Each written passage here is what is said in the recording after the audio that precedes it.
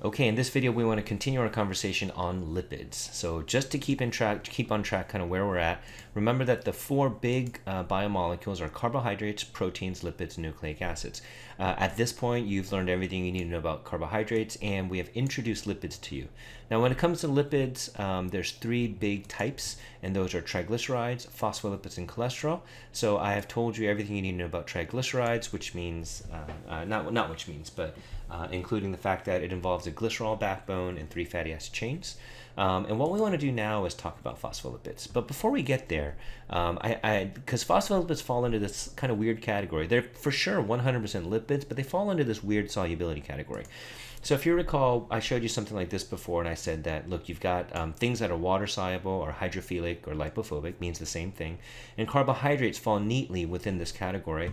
And you got other things out in the body that are lipid soluble, so they're hydrophobic or lipophilic, and triglycerides and cholesterol fall in there. And if you recall, I told you that really things fall, generally speaking, somewhere within the spectrum. There's some things that are a little bit more water soluble than lipid soluble, some things that are really quite water soluble and not really lipid soluble, and some things that are, you know, 100%. Meaning that, yeah, there are shades of gray in between. Some things are, you know, they have varying levels of solubility. But to make life easy for us and to simplify things, which is useful for what we do in human physiology, we just cleanly categorize them as being water soluble or lipid soluble. Okay, one or the other.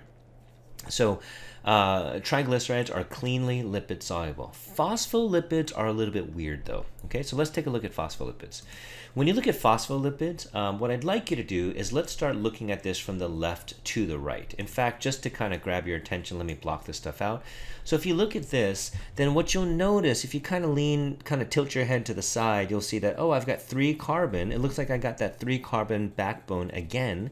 And this time I have a big long fatty acid chain there and another fatty acid chain here. Um, as long as we're talking about it, it looks like this fatty acid chain in this particular picture is saturated and this one is unsaturated. Okay, so what about the third one? Look, if we had another one here, then that would be our full-blown triglyceride, but instead we have something else. Attached to this carbon, rather than having an additional fatty acid chain, what we have now is this group over here, this, this thing that contains a phosphate group. Um, now, at this point, I probably haven't talked to you guys much about functional groups, um, but functional groups are when certain atoms tend to cluster together. So phosphorus and oxygens tend to cluster together. In some ways, you can think of it like, uh, you know, you got 26 letters in the alphabet, but some letters like to cluster together, like ST, um, Stephen, stay, still, uh, fast, past, um, all these types of things occur. So S and T likes to be clustered together. Um, so something like that uh, in the equivalent in uh, chemistry, we would call a functional group. And so a functional group, again, is a certain atoms that tend to cluster together into meaningful um, meaningful little units of organization. So P, one phosphorus with four oxygen, is a common functional group, and this guy is called a phosphate group. And again, within this, there's the phosphate group here, and there's other stuff here which we don't so much care about, but you see a nitrogen and some other kind of uh, uh, what you what are called methyl groups, which we don't particularly care about right now, but these CH3 groups. But the point is, when we kind of take a step back, when we zoom out a little bit and consider this whole dynamic, you know, these one, two, three, four oxygens with the oxygens here as well too. When we take a step back, what ends up happening is that this region of the molecule is actually polar polar. It has a charge to it. It has this uh, a, an overall charge to it which means that it is very comfortable in a watery or aqueous environment.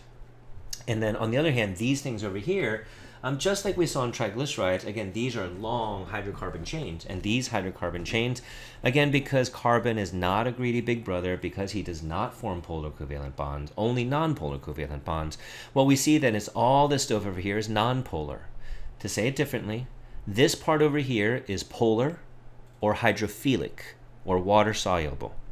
This part over here is nonpolar or hydrophobic or uh, lipid soluble. And so what we have then is a molecule where one end of it likes water and the other end of it doesn't like water. So now what ends up happening is that let's remove this block And uh, no, I take that back. Instead, let's just open it up just a little bit. Inst so what we're going to do is we're going to take this now and just kind of as a shorthand, we're going to draw it like this. And we're going to say that this is the head of the molecule and these are the tails of the molecule. So you've got two polar, uh, sorry, one polar head and then two non-polar tails here. And so again, if you take a look at this and if you kind of step back from your monitor and squint at it a little bit, then it actually ends up looking like this. Now, here's where phospholipids are really, really important. Uh, the, the famous thing about phospholipids is that we find them in your cell membranes. And so remember that the smallest unit of life is a cell, which we need to talk about eventually. And so your cell membrane, which is just the outside of a cell. And what that means is, look, if, if you had to draw a cell out just really quickly, you would draw just a big circle like that. This right here is the inside of the cell, and then all this whiteness out here would be the outside of the cell. So this part here, right where my cursor is going, the, the, the framing to the cell, the skin of the cell, is actually chemically composed of a phospholipid bilayer. Um, what I mean by that is made up of phospholipid, but it's made up of two layers. There's the first layer, and then there's the second layer. Now, what ends up happening then is that the polar heads are facing this outside watery environment. Let's go back to this circle, okay? So the polar heads, if we were to imagine this is making up the cell membrane, the polar heads are facing this outside of the cell membrane, and these polar heads are facing the inside. Uh, I, did I say outside of the cell membrane? Let, let me let me take that back. Um, these polar heads are facing this outside watery environment, and these polar heads are facing this inside watery environment because your cell is, is, is just it's full of water. So we'll look at this more closely. I have a lot more I want to say about the cell membrane, uh, but when we get to the cell itself, that's when we'll kind of zoom in a little bit more and talk about some more, uh, some, a little bit more about uh, why this phospholipid bilayer is so significant, why it's really meaningful for us. But for now, what you need to know is that the phospholipid has a polar head and nonpolar tails, and it's famous for being in the cell membrane. Okay, so let's see. What are the building blocks of a phospholipid? We say a phosphate-containing head and fatty acids, two fatty acids. That's, that's your answer right there. Is a phospholipid polar, nonpolar, or both? And the answer is both. It's got a polar head and nonpolar tails. What is the difference between saturated and unsaturated fatty acids? Actually, I think this went into an earlier lecture, um, so we don't really need this in here, but a saturated fatty acid has all single bonds between carbon atoms, and an unsaturated fatty acid has at least one double bond between these carbon atoms, like you see right over here. All right. Uh, and the last thing then for this particular video is talking about cholesterol. Is cholesterol polar or non-polar? You know, we could ask that differently. We could say, is uh, cholesterol water or lipid soluble? Is it water soluble or lipid soluble? What's another way we could say it? Another way we could say it is, lip, uh, is it hydrophilic or hydrophobic, right? So that will be another way that we could talk about this. So remember the words, uh, the terms lipid soluble, so lipid solubility and polar, uh, right over here, and hydrophilic, all these terms go together and they essentially mean the same thing. Uh, this should say water soluble. Okay. So why do we need cholesterol? Well, let's get to that. Let's look at a picture of cholesterol first. So this guy right over here is cholesterol, and this is just another picture of a phospholipid, again from a different textbook. There's your three carbon backbone, two fatty acid chains, the phosphate containing polar head, all right? So this right over here is cholesterol. Now, uh, you, all, all you need to be able to do is recognize that that is cholesterol. All you need to be able to do is if you see a picture like that, you need to say that's cholesterol. That is not a triglyceride, that's not a carbohydrate, it's not a disaccharide, it's not an amino acid, this thing is cholesterol. And so there it is. That's the structure of cholesterol. Cholesterol is nonpolar. It is uh, lipid soluble. Now here's here's why we care about cholesterol. Um, I'm sure all of you have heard that you know high cholesterol is bad for you. So a, a very routine test that you know your doctors will look at is looking at your blood cholesterol levels. And yeah there's this so-called good cholesterol and bad cholesterol. We'll get into that in bio 142 and what that actually means. It's, it's kind of a, a weird naming system because it's actually just cholesterol um, what makes it good or bad are, are some other things that cholesterol happens to be associated with. In any case here's your cholesterol again. And so what i want you to see here is this um, what is this? Estradiol. Estradiol is the famous estrogen. So there are different types of estrogens out there, um, but when you just say estrogen, generally speaking, this is what people are referring to. This is testosterone. Um, a so-called male sex hormone. And this guy over here is cortisol. All of these things you guys will learn about in Bio 142, and we'll see what, what they do and why they're meaningful. But you probably have some idea of what estrogen and testosterone do anyway. You probably have some sense of what that does.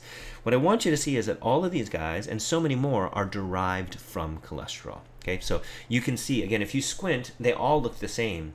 Um, again, if you look a little bit more closely, you can then start to see some little differences. But what I want you to see is that um, in a biosynthetic pathway, in, in the chemistry that you have in your body, when you want to make estrogen, you start off with cholesterol.